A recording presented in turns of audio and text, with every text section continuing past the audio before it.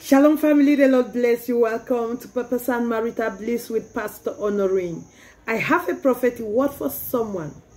Someone has been complaining to God because of you. Someone has been complaining to God because of you. This word is coming to somebody. Someone in your life, they did wrong and they've asked for forgiveness, but not really like they are, like they mean it.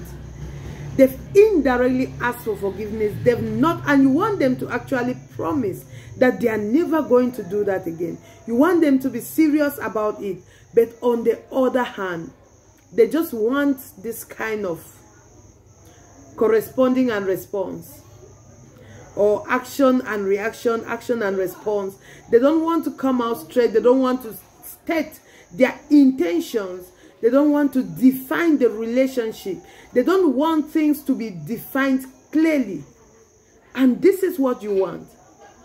And they've been trying to manipulate you, to get you to come back, to get you. They want to bypass the protocols to just get you where they want you to be. They have been complaining about you to God. Trying to maneuver God to get involved, but God doesn't work that way either. So God has been silent. If they want anything with you, they are going to define it. Don't assume anything because the moment you assume something, if things go wrong, God forbid, but if things go wrong eventually, they are going to tell you, I never promised you anything. I never told you anything about marriage. Take note, this is someone that you are familiar with. This is meaning this is someone from your past.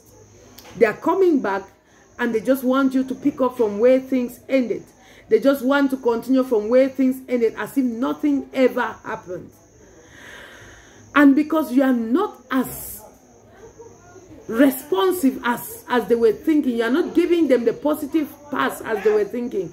They are complaining to God about you. Telling God that they are ready for this thing. They want to make it work. God should back them up and all of that.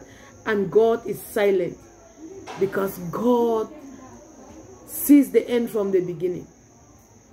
They are going to have to define what they want, define why they are coming back, and then ensure and vow that the past mistakes that were done will not be repeated again.